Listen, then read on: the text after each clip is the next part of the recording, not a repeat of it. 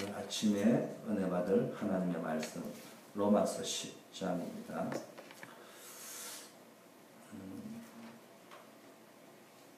9절부터 15절까지 한번 말씀을 보겠습니다. 9절부터 로마서 10장 9절부터 15절까지 사람이 마음으로 믿어 의에 이르고 입으로 시인하여 구원에 이르느니라 성경에 이르되 누구든지 저를 믿는 자는 부끄러움을 당하지 아니하리라. 유대인이나 헬라인이나 차별이 없음이라 한 주께서 모든 사람의 주가 되사 저를 부르는 모든 사람에게 부요하시도다. 누구든지 주의 이름을 부르는 자는 구원을 얻으리라. 그런즉 저희가 믿지 아니하는 일을 어찌 부르리요? 듣지도 못한 일을 어찌 믿으리요? 전파하는 자가 없이 어찌 들으리요 보내심을 받지 아니하였으면 어찌 전파하리요 기록된 바 아름답도다 좋은 소식을 전하는 자들이요 말이여 함과 같으니라 예. 누구든지 주의 이름을 부르는 자는 구원을 얻는다고 했습니다. 아, 그런데 어, 구원을 얻으려면 하나님의 말씀을 마음에 믿고 입으로 신뢰해 구원을 얻는데 어, 전하는 사람이 없으면 말씀을 들을 수 없고요. 말씀을 들을 수 없으면 어, 믿을 수가 없습니다. 그래서 우리가 말씀 전하는 자, 전파하는 자가 굉장히 중요합니다. 그런데 이 말씀을 전하고 전파하는 것도 보내심을 받지 아니하면은 하나님의 천명, 소명, 사명으로 하지 않으면 어떻게 전파할 수 있느냐? 그래서 이 복음 전하는 자가 아름답도다 복음 전하는 자들의 발이요. 똑같은 발이지만요. 도둑질 하러 가는 발이 있고요. 자기 유익, 이익을 챙기기 위해서 걸어다니는 발이 열심히 걸어다니는 발이 있는가 하면은 자기의 이익과 유익 어떤 의미에서는 상관이 없는데 한 생명이라도 더 구원하려고 하는 전도자의 발걸음이 아름답다 이런 말씀이 오늘 본문에 기록되어져 있습니다. 어, 이번 주의 핵심은요 세계 살리는 전도라는 제목으로 말씀이 선포되어졌어요. 어, 중요한 것은 우리가 알아야 될 것은요 뭐든지 역사에서 우리에게 주는 우리 교회에 주는 어, 교훈을 찾아내어서 내가 무엇을 어떻게 할 것인가를 찾아내는 것이 올바른 신앙생활인 것 같습니다. 유대인들은요, 굉장히 축복받은 민족입니다. 지금도 그렇습니다. 그러나 또 이면을 살펴보면은 앞에서는 성공을 했는데 내면적으로 보면은 일곱 번이나 큰 재앙이 들어닥쳤고 계속해서 크고 작은 전쟁 속에 휘말려 들고 있습니다. 말이 일곱 번이지 지금도 중동에 일어나고 있는 일을 볼 적에는 계속되어서 재앙이 진행되고 있습니다. 그 첫 번째가 뭡니까? 노예로 에집트의 노예로 430년간 종살이를 했습니다. 거기서 빠져나오는 길은 6월절 피 바른 날 빠져나왔습니다. 어, 블레셋이라는 데서 어, 전쟁이 다 일어났습니다. 이때 여러분 알다시피 이 블레셋을 꺾은 사람이 다윗인데요. 이 다윗이 있게 만든 장본인이 누구냐? 사무엘이라는 대제사장입니다. 이분들이 뭘 가지고 있었냐? 언약계 신앙을 가지고 있었습니다. 출애굽을 했지만 6월절 비밀을 놓쳐버린 엘리 제사장은 피는 발랐지만 양은 잡았지만 왜 잡는지 크게 대한 비밀을 몰랐어요. 그러니까 하나님의 말씀과 이상이 끊어졌는데 사무엘을 통해서요 하나님의 이상이 회복되죠. 하나님 말씀이 회복되어지고 중요한 것은 언약이 회복되어지고 중요한 것은 모세 시대 때 광야 때부터 회복되어졌던 모든 언약과 또 언약의 신앙과 이 언약의 중심으로 한 시스템, 모세 때 있었던 백부장, 천부장 이런 시스템들, 제사 제도 이런 것들이 미스바 운동을 통하여 모든 것이 회복되어졌을 적에 전쟁과 재앙이 거쳤더라 이렇게 되어져 있습니다. 어, 사무엘에 있는 동안 전쟁이 거쳤다. 언약 잡은 자 한 사람만 있는데도요 하나님은 그 한 사람 때문에요 그 땅에 전쟁이 거쳤더라. 진짜 복음 운동하는 교회 한 교회만 있어도 진짜 복음 운동하는 한 사람만 있어도 그 땅에 재앙을 보류하십니다. 여러분 또 아람이라는 이번에 시카고에 가니까 아시리안 처치라고 있던데요. 이게 이제 아람과 아수르인데요. 이 아람에서 뭡니까 도단성 운동을 시작했던 사람이 뭡니까 엘리사입니다. 그 언약을 가지고요, 언약 운동, 제자 운동을 본격화 스승 엘리야를 통하여 물려받아 가지고요, 그 말에 그 메시지의 의미를 알고요, 본격적인 생도 훈련을 시키고 요즘 말하면 신학교 운동, 제자 훈련을 시작했는데요, 아람 군대를 딱 꺾어버렸어요. 아수르라는 나라가 있었습니다. 이때 뭡니까? 완전히 네 번째로는요, 잡혀갔습니다. 눈이 뽑히고요. 바벨론으로 또 포로되어 갔습니다. 이때 주신 말씀이 이사야 7장 14절이죠. 이 다수로 바벨론 포로에서 빠져나오는 길이 뭡니까? 완전히 그리스도의 언약. 보라 처녀가 잉태하여 아들을 낳으니 그 이름을 임마누엘이라 하리라. 이걸 회복해야 된다 이 말이에요. 이거를 모르고요. 제사를 막 지내면서도요. 포로로 잡혀가지고 제사를 지내면서 그게 뭔지를 모른다. 그런 열심히 특심이면서도 메시아 언약을 놓쳐버렸다. 로마의 여섯 번째는 속국이 되었습니다. 그래서 사도행전 1장 6절 7절 오매 불만 소원이 뭡니까? 이스라엘 나라를 언제 회복하실 것이냐. 근데 8절에 보니까요. 때와 기한 아버게 다 맡겨두었으니까 뭐 해야 되냐? 너희의 관심은 오직 어디에 올인해야 되느냐? 오직 성령이 너희에게 임하시면은 권능을 받고 예루살렘 온 유대 사마리아 땅 끝까지 이르는 내 정인이 될 것이다. 그 성령 충만 주시겠다. 그 실체 이렇게 복음 전파하며 땅 끝까지 정인의 사명을 감당할 적에 이, 이 그리스의 언약을 증거할 때 로마에서 빠져나왔잖아요. 2000년간요. AD 70년 내지 72년경에 디도 장군에 의해서 함락이 예루살렘이 함락되고 난 이후에 1948년 이스라엘이 독립하기까지 우리나라보다 3년 늦게 독립했죠. 아직 뭐 했습니까? 2000년간 완전히 유랑했습니다. 방랑했습니다. 어, 굉장히 뭡니까? 고생했습니다. 마태복음 27장에 보니까요, 우리 죄악을 후대에게 넘겨도 좋다. 구해가지고 그게 후대들이 죽을 고생했는 여러분, 지금도 그건 계속되고, 여덟 번째 재앙이 지금도 계속되고 있습니다. 그런데요, 중요한 거는 성경 역사에서 뭘 가르쳐 주느냐. 복음 놓쳐버렸을 적에 열심히 특심이라도 예배를 드렸는데도 하나님을 끔찍히 섬겼는데도요, 재앙을 막지 못했어요. 그런데요, 복음 가진 몇 명이 일어났는데 그분들을 통해서요, 복음이 회복되어지고 전도 운동이 다른 말로 하면 회복돼. 복음인데 다른 사람이 전하는 걸 전도인데 그걸 본격적으로 일어나는 걸 무브먼트라는 거예요. 그 복음을 가지고 내용 복음을 가지고 본격적으로 현장 살리고 영혼 살리는 전도 운동, 선교 운동이 회복되었을 적에 뭡니까? 모든 이 재앙이 끝나고 다시 축복을 회복되었습니다. 그래서 재앙이냐 저주냐 아니면 축복이냐 재앙이냐 정말로 평안이냐 전쟁이냐 이게 어디서 결정나느냐 진짜 복음 운동 하고 있는 교회가요, 이거를 모릅니다. 지금 교회의 문제, 성도의 문제가 뭡니까? 본인들이 축복받고 응답받는 것은 알면서도요, 어, 복음이 얼마나 중요한지, 전도운동이 얼마나 귀한 것인지, 이거를 모르고 있는 것이 교회의 문제요, 성도의 문제요, 근성입니다. 그저 교회 다니면서 내한 사람 몸보신 하려고 하고 응답받을 수준이지 천명, 소명, 사명을 모릅니다. 가치를 모른다. 두 번째는요, 이, 이게 뭡니까? 현장에 들어가 보면요, 완전히 문화가 장악되어져 있습니다. 창세기 3장, 하나님 없어도 된다. 네가 하나님이 되라.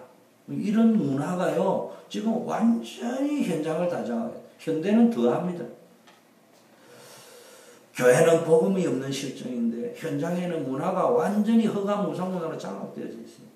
창세기 6장에도 보니까요, 완전히 오늘 결혼 예배 학교를 하게 되는데요. 창세기 3장에 보니까 뭐 뭐가 들어가 있느냐? 완전히 가정을 사단이 공격해 버렸어요.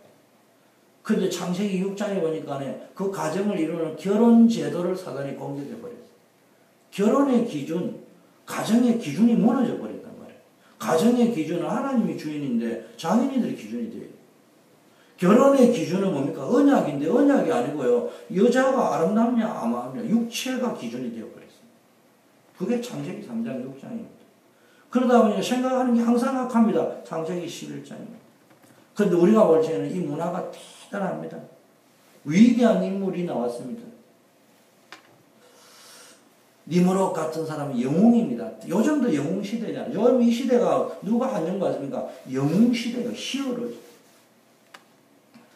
그래서 뭐 영웅을 억지로 만들면서 사람들이 그 영웅을 우상화시키면서 그, 그게 뭡니까? 다른 이야기하면 이 뭡니까? K-팝이다. 뭐 이렇게 전부 다 알고 보면요. 이면에 그게 깔려있다는 거예요. 우리는 그걸 보고 성공이라 하는데요. 성경은 바벨탑을 보고 멸망이라. 우리는 노아 시대를 보면서요. 굉장한 문화가 발달했다는데 성경은 그걸 보고 저주라고 이야기합니다. 창세기 3장에 선악과를 알고요. 모든 돌아가는 걸 알고 세상사 만사를 만물 박사가 된 것처럼 보이는데 모르는 게 없을 것 정도로 많이 아는 것처럼 보이는데요. 그걸 성공이다, 행복이라 이야기하지 않고요. 멸망이라 저주, 고통이라고 이야기하고 있습니다. 사도행전 11장에 보니까요. 어, 그런 일이 벌어집니다. 13장, 10, 사도행전 13장, 16장, 19장은요. 한마디로 말하면요. 문화를 파고 들어갔는데 어느 쪽으로? 정치, 경제, 사회 쪽으로. 그 에베소에 정사를 파고 들어갔다. 공중건시 잡은 자. 그 총독을 잡아버렸습니다. 사도행전 16장에는 그게 이게 귀신 들렸는데요. 이게 뭐로 바뀌었습니까? 귀신이 들을 거 말고요. 상업적으로. 여러분 이거 이해 안 됩니까? 연예인들이요. 지금 뭐 케이팝이다 뜨고 뭐 한때 마이클 잭슨이다 뭐 마릴린 몰로다 막 연예인들이 막 이래 떴잖아요. 근데 그 뜨고 있는 그 이면에 뭡니까? 그 연예인이 귀신이 들든 마약을 들든 완전히 화물경에 빠져 있는데요. 우리가 볼 적에는 와 하는데 야뭐 지금 완전 마약에 빠져 있다니까. 술에 빠져 있다니까. 술의 힘, 마약의 힘이 아니면 그걸 해결할 수 없는데 우리는 보고 와 대단하다 이러면 이런 시대가 되어버립니다. 요즘은 좀 인기인 사람들 그거 없으면 못한단 말이에요. 사도행전 19장에는요 완전히 우상 종교 이게 딱 잡고 있습니다. 마술, 역술 이런 것들이 잡고 있습니다. 지식은 쉽게 말하면 발전하고 문화도 늘 발전해가지만요. 그런데 성경은 고통의 시대, 멸망의 시대라고 이야기합니다. 이게 지금 현장의 최대 문제예요. 그래서 지금 경제도 발전하고 차도 뭐 요즘 벤츠 뭐, 뭐, 아우디 뭐 좋은 것만 다 뽑고 앉아 있는데 뭐만 다 놓쳤냐? 하나님만 쏙 빠져버려요. 그러니까요, 눈앞에 보면은 화려한데 고통뿐이에요. 거기다가 지금요, 이런 걸 가지고 3단체가 뭡니까? 이 흑암의 줄기를 타고요, 활동을 하면서 우리 개인과 우리 랩런트 개인에게 영혼 속으로 파고 들어가지고요, 수준 높은 영적 체험, 귀신들이 만들어 버리는데, 거기 귀신이 잡신처럼 보이면 수준 낮게 보이는데, 이걸 수준 높게 학문적으로, 문화적으로 재조명을 하면서 집어넣어 버린단 말이에요. 요한복음 8장 사이 거짓의 압이 막이라고 해요. 그게 완전히 잡혀버려요. 거짓에 잡혀버려요.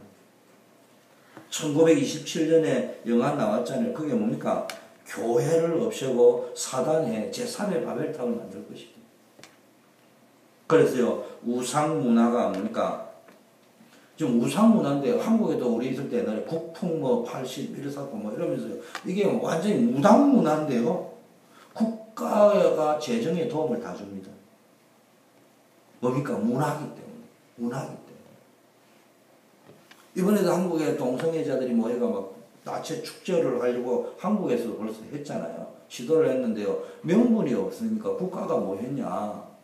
세월호 참사가 일어났는데 지금 국가적인 재난이 일어났는데 시국이 그렇게 하면 좀 어떻게 했냐. 좀 다 애도하고 애도하는데 집중해야 했는데 이렇게 통사정 하다시피 해가지고 delay 시킨 거예요. 하지 말아가지고 연기시킨 거예요. 출애굽기 20장 1절 8절 보니까 완전히 우상이었잖아요.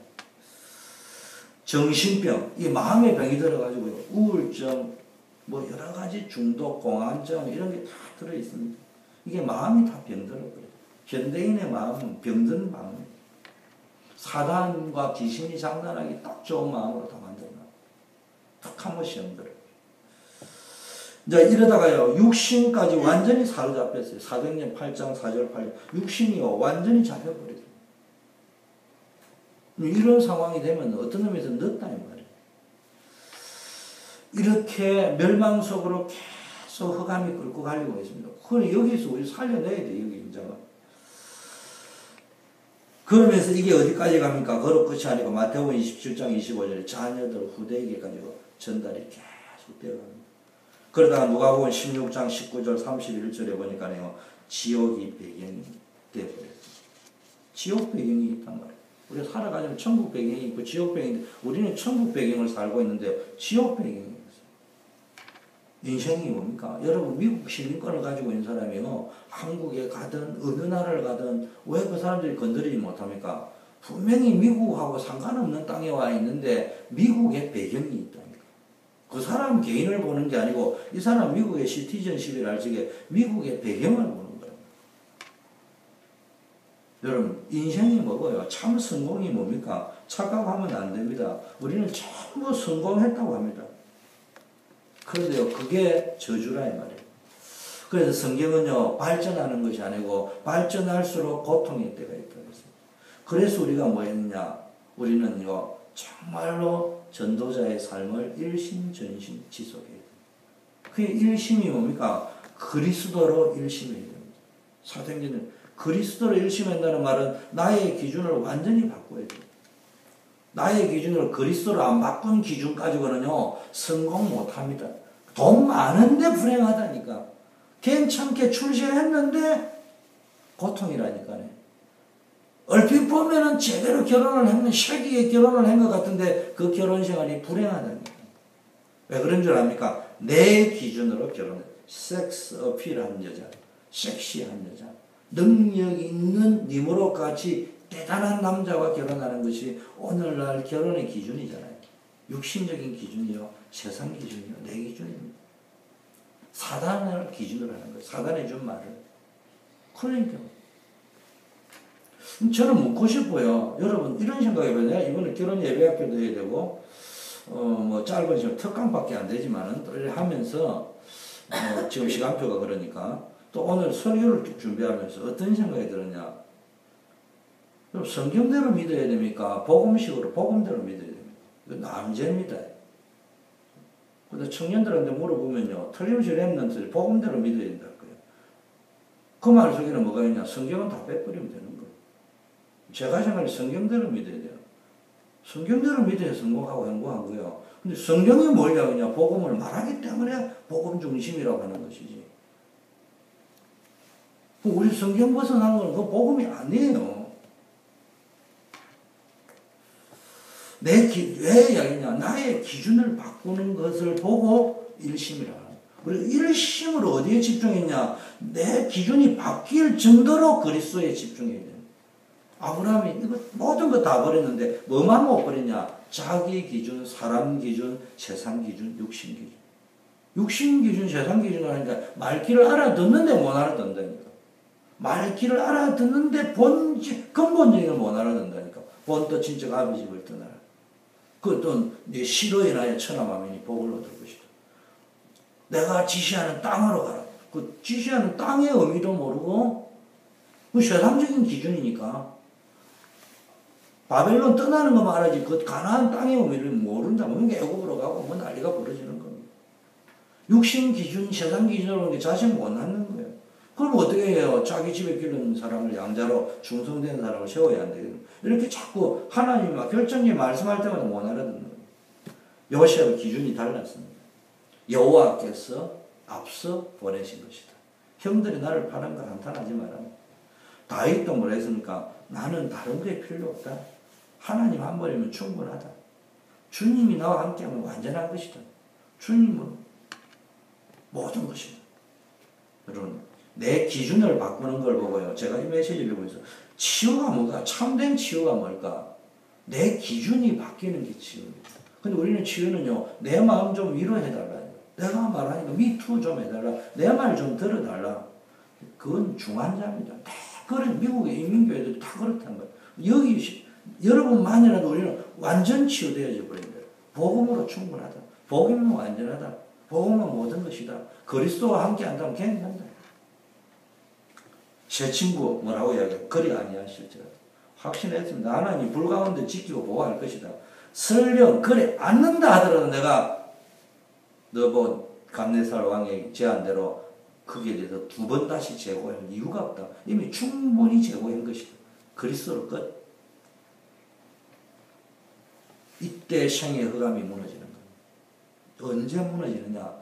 그리스도 영접할지 근본적으로 끝났지만 내 삶에 끝나는 것은 언제냐? 완전히 내 삶 속에 이런 고백이 나오지. 기준이 바뀌어. 우리는 예수 믿어놨거든요. 예수 믿기 전에 가지고 있는 세상 기준.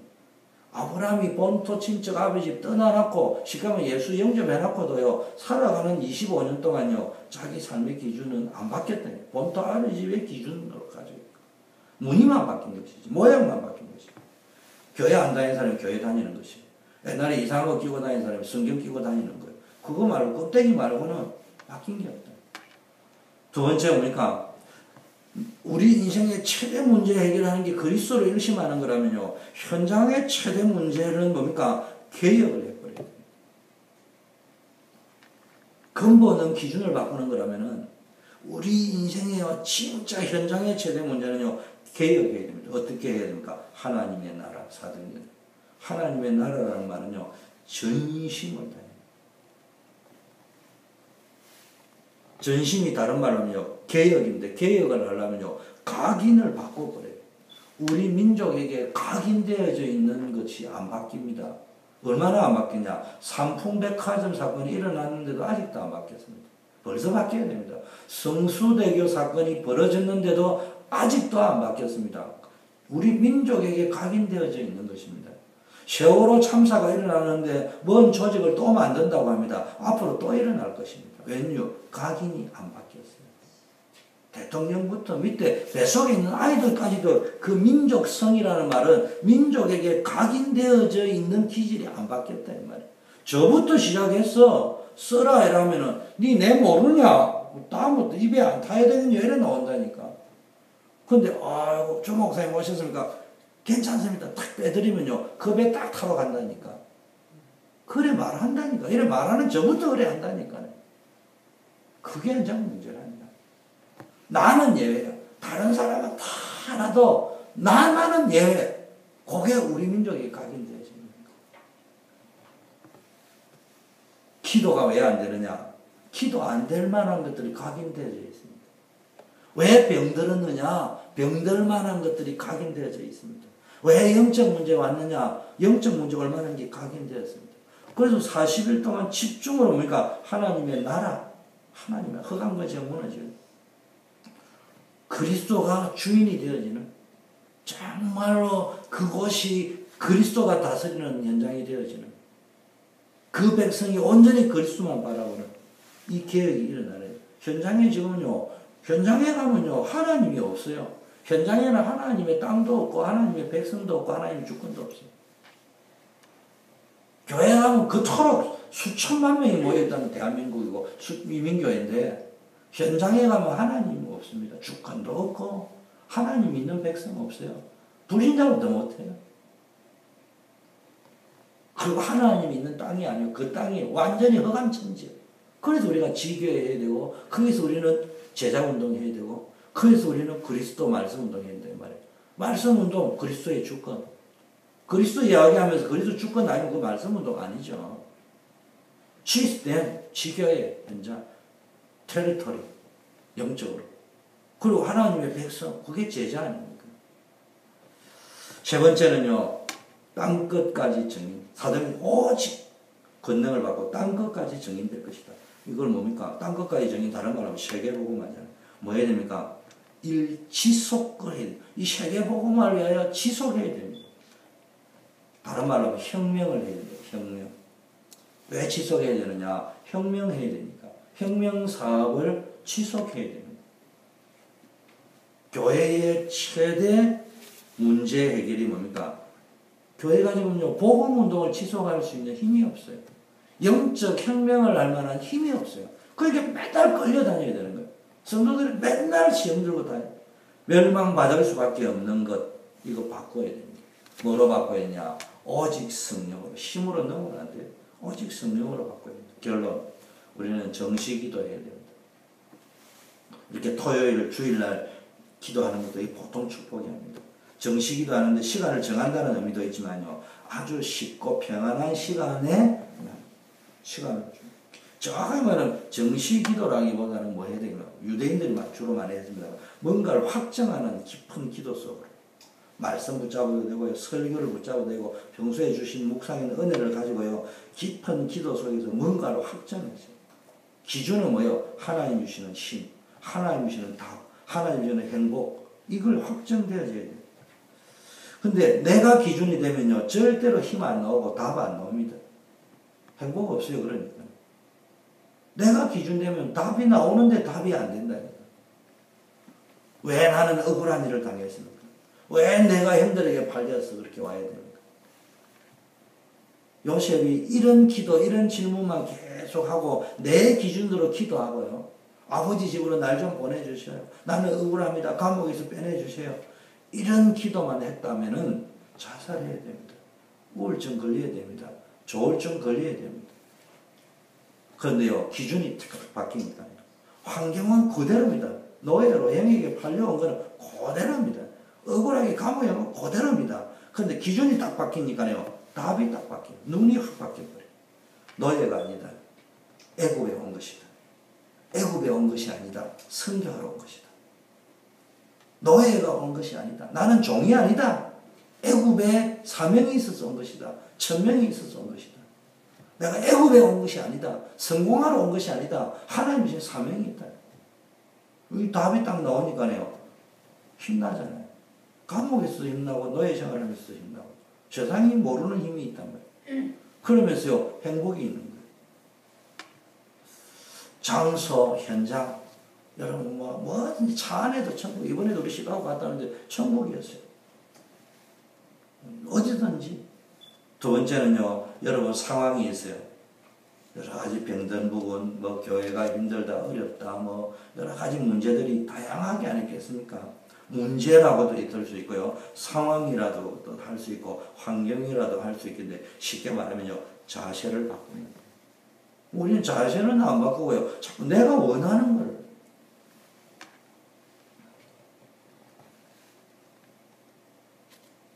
그러면 이제 행복합니다. 상황은 똑같은데 이상하게 행복하다니까요. 환경은 뭡니까? 변함이 없어요. 나는 여전히 가난해 보이는데도요. 조건 없이 행복하다니. 세 번째는요. 우리가 할 일이 많잖아요. 사명은 많은데 갈 데도 많은데 힘이 없어요. 그래서 뭐예요? 기적이 필요한 거예요. 내를 뛰어넘는 힘. 인간의 한계를 뛰어넘는 걸 기적이라는데 요즘 우리말로 그걸 기적이라고요. 25신. 영혼이라고 이야기하죠. 그 여러분 우리가 문제 있을 때가 뭐입니까? 기적의 하나님, 25시의 하나님, 영원한 하나님을 만날 시간입니다. 그 예레미야 33장에 보니까 뭡니까? 감옥 속에 있는 예레미야에게 하나님이 임했습니다. 감옥 속에서도 가능하다. 걱정하지 마라. 두려워하지 말라. 이를 행하는 여호와 그것을 지어 성취하는 여호와 그 이름을 여호와라고 하는 자가 이같이 일어나라. 너는 이 말씀을 붙잡고 내게 부르짖어라. 내가 내게 응답하겠고 내가 알지 못하는 크고 비밀한 일을 보일 것이다. 이사야에게도 두려워 말라. 내가 너와 함께 할 것이다. 모세나 모든 말씀할 때다 이야기해서 말로 하면 힘을 얻어란 말이에요. 그래서 우리가 정말 여러분의 한 시대에 전도 운동의 주역이 되는 축복을 누리시기를 바라겠습니다. 그리고 오늘 우리가 결혼 예배 학교가 있는데요. 여러분이 기도해 주시대요. 내가 준비를 하다 보니까 간단하지만 여러분이 좀 아셔야 될 건요. 부모의 영적 상태, 기도하는 부모가 있다. 기도의 배경이 있다. 이게 자녀의 결혼에 굉장히 영향을 줍니다. 또 그 자녀가 가지고 있는 평상시의 영적 상태 굉장히 영향을 줍니다. 그런데 아브라함이 특히 뭡니까? 두 번째 기준을 가지고 있어요.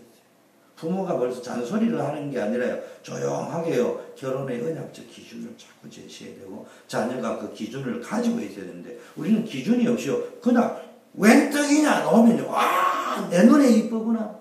괜찮구나. 그게 기, 그때 그때 괜찮구나. 괜찮구나가 되는 게 아니라 기준. 기준이 분명해야 돼요. 그 다음에요.